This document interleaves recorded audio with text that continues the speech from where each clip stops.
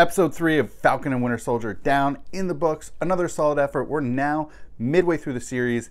It's another good episode, except I'm I actually like it so far the best out of the three episodes we've seen so far of Falcon and Winter Soldier because the first one sort of just set things up, understanding where the characters were, things started going in motion the second one and now they are in motion which was i think for me the most exciting part. So here are three quick highlights from this third episode. The first is seeing baron zemo orchestrate his own escape from prison. Very exciting to see. Uh, it really has shades of what he did in civil war of what he's able to orchestrate on sort of a broader scale really putting those pieces in motion knowing what to do when how with whom. Really excellent to see that nicely executed. Number two is seeing in that club in Madripoor the Winter Soldier essentially going Winter Soldiery. Yeah, he really hasn't been.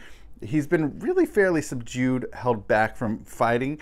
Nice to see him. Uh, for me, it was really nice to see him just like in action, just taking the various, uh, you know, would-be opponents against him. And the final one is Baron Zemo again.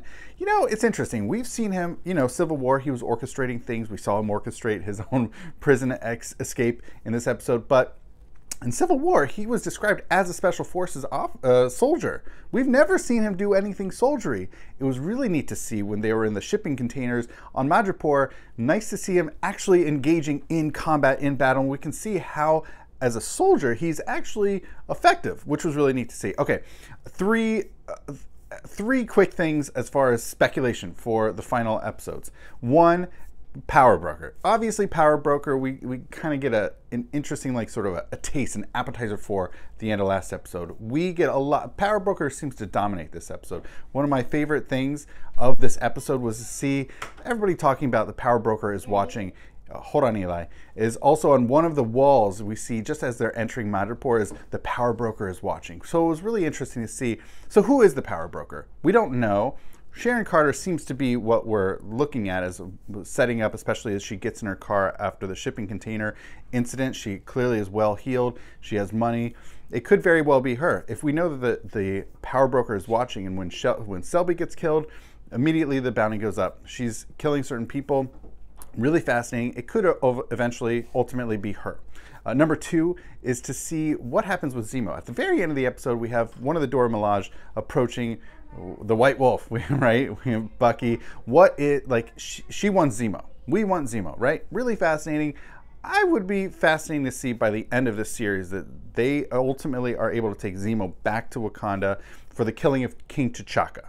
I think that would, and and I'm sure there would be a comment somewhere along the lines of, he at least would be securely in prison as opposed to just somewhere in Europe. They would be able to make sure he actually is in prison, and that would be an interesting setup for Black Panther 2, having him there as well as uh, that CIA agent that we've seen in both Civil War and Black Panther.